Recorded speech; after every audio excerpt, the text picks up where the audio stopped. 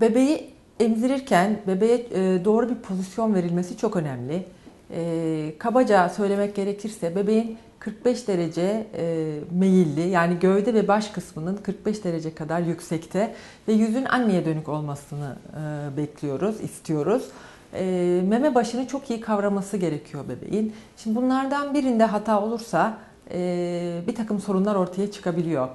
Mesela bebek meme başını tam kavrayamazsa, olabildiği kadar kavramasını ve vakumlamasını istiyoruz. Eğer e, bebek bunu e, başaramazsa, yanlış emerse en başta meme başı çatlaklarına neden oluyor. Meme başı çatlakları anneye çok acı veren bir şey emzirme sırasında. Bir annenin emzirme isteğini yok ediyor. İkincisi bir süre sonra enfeksiyon kapabiliyor meme. Mastit olabiliyor. Mastit olmasa bile oraya mantar enfeksiyonu yerleşebiliyor.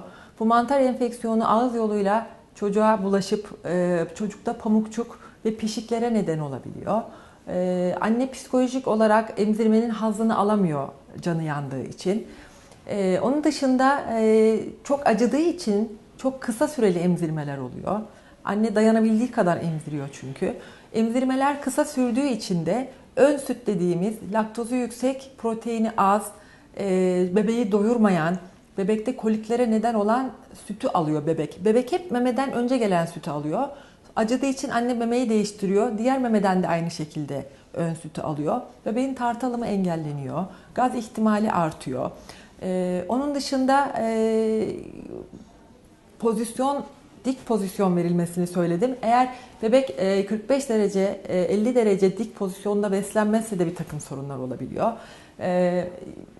Biz suyu dahi hiçbir e, zaman yatar pozisyonda vermemelerini öneriyoruz.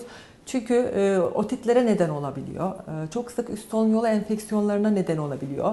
Reflülere neden olabiliyor. Reflüsü olan çocuklarda reflüyü artırıyor dik beslememek. Onun için bebeğin beslenme pozisyonu annenin konforu için de çok önemli, bebeğin sağlığı için de çok önemli.